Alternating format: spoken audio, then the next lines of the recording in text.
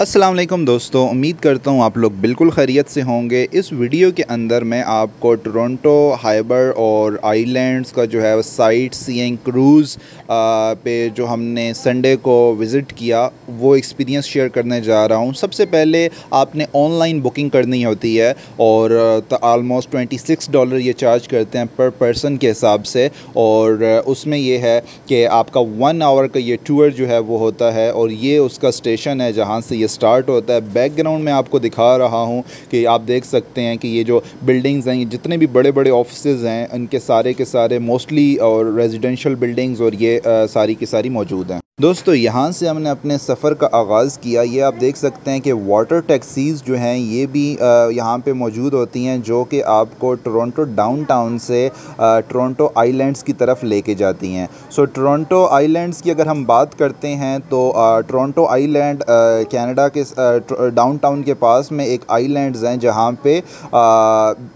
आप आगे देख सकते हैं वीडियो में। सो बाय द वे हम बात करते हैं कि सबसे पहले जो टूर स्टार्ट हुआ उसमें उन्होंने ये जितनी भी बिल्डिंग्स थी इन सारों का आ, हमें इंट्रो करवाया कि ये बिल्डिंग्स जो हैं वो मोस्टली जितनी भी टॉप कंपनीज़ हैं वर्ल्ड की उनके मोस्टली यहाँ पे हेड क्वार्टर्स मौजूद हैं। कुछ जो बिज़नेसेस हैं वो रेजिडेंशियल बिल्डिंग्स हैं और हमारे साथ एक टूर गाइड अवेलेबल था जिस जो कि हमें सारा का सारा एक्सप्लेन कर रहा था और ड्यू टू कॉपीराइट मैंने उसका जो वॉइस है वो म्यूट कर दी है। सो बाय द वे ये जितने भी बिल्डिंग्स आप यहाँ पे देख रहे हैं ऑफ़िस हैं और इन बिल्डिंग्स की कुछ ना कुछ ख़ास बात हैं, ये हमें बता रहे थे कि ये बिल्डिंग्स कब बनी और इनकी क्या ख़ास बात है और इसी तरह जो है वो मोस्टली जितने भी बैंकिंग सेक्टर्स हैं, उनकी यहाँ पे वो हैं या उसके अलावा जो फार्मा कंपनीज़ हैं, दूसरी तीसरी कंपनीज़ हैं, वो ये कर सकते हैं। दोस्तों, मैंने कोशिश की है कि मैं कैमरे के ज़रिए जो है वो आप तक कुछ ना कुछ व्यू पहुँचा सकूँ बट स्टिल बिलीव मी जो बेस्ट व्यू है वो अगर आप ख़ुद देखते हैं तो आपको काफ़ी ज़्यादा मज़ा आएगा देखने का। तो आप देख सकते हैं कि कुछ बिल्डिंग्स जो है वो अंडर कंस्ट्रक्शन भी हैं यानी कि काम हो रहा है बट मोस्टली जो बिल्डिंग्स हैं वो बन चुकी हैं और उसके अलावा ये जो आप क्रूज़ देख रहे हैं बड़े बड़े ये यहाँ से दूसरे जो है वो कंट्रीज़ तक भी जो है वो जाते हैं या उसके अलावा मोन्ट्रियाल या आप जो है वो क्यूबेक सिटी तक भी अगर जाना चाहें तो मोस्टली यहाँ से आ, वो भी जाते हैं और बाकी ये सारे के सारे आप इन बिल्डिंग्स को देख सकते हैं।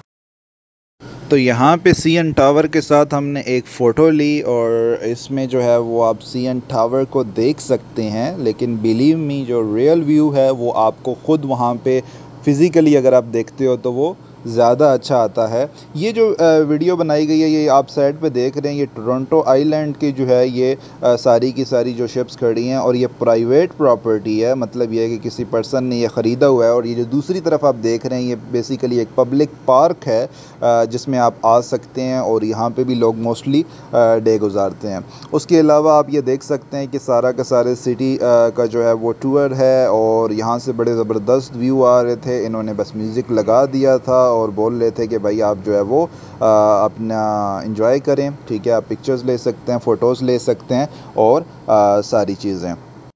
तो दोस्तों मैं तकरीबन 10 से ज़्यादा कंट्रीज़ को जो है वो विज़िट कर चुका हूँ और बहुत ही खूबसूरत खूबसूरत प्लेसेस मैंने देखी। बिलीव मी मुझे सबसे ज़्यादा जो है ये खूबसूरत प्लेस लग रही है जिसमें ज़बरदस्त व्यू था और ख़ास तौर पे समर के अंदर जब सारी चीज़ें जो है ना वो अगर आपके पास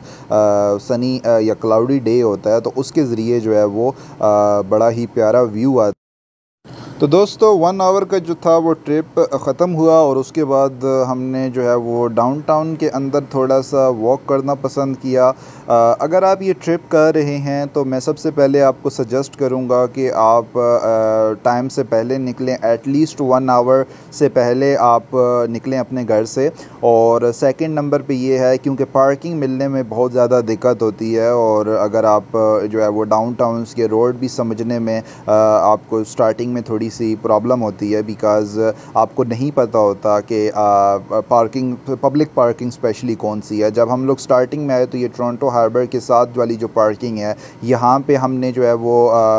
गाड़ी लेकर गए बट आगे पता चला कि ये सिर्फ़ और सिर्फ़ जो रेजिडेंशल लोग हैं, उनकी पार्किंग है नॉर्मल पार्किंग लोगों को नहीं मिलती। सो बाय द वे आप पार्किंग का ज़रूर जो है वो प्लान करके चलें पब्लिक पार्किंग का कोशिश करें कि नियर बाय आपको जो है वो पार्किंग मिल जाए ताकि उससे बहुत ज़्यादा आपका टाइम सेव होगा। अगर आप दूर पार्किंग करेंगे तो ऑफ़कोर्स जो है वो आ, आपको ज़्यादा प्रॉब्लम होगी। सो बाय द वे अगर आपके पास इनफ टाइम होता है तो आपको पार्किंग गेट करने में भी आसानी होती है near by and second number पर यह है कि आप वहाँ से ईज़िली जो है वो पहुँच भी जाते हैं और वापसी भी आप आसानी से पहुँच जाते हैं। तो दोस्तों अगर आप टोरंटो के अंदर हैं या अगर आप कनाडा के अंदर हैं तो मैं आपको ज़रूर सजेस्ट करूँगा कि आपको अपना जो है वन टाइम इसका ज़रूर एक्सपीरियंस करना चाहिए। ओवरऑल मेरा जो भी एक्सपीरियंस रहा, वो ज़बरदस्त एक्सपीरियंस था, बहुत ज़्यादा इंजॉय किया और सेकंड नंबर पे रीज़नेबल प्राइस जितनी उन्होंने हमें सर्विस दी या जितना हमें वो गाइड किया, उसके मुकाबले में अमाउंट वाज वेरी रीज़नेबल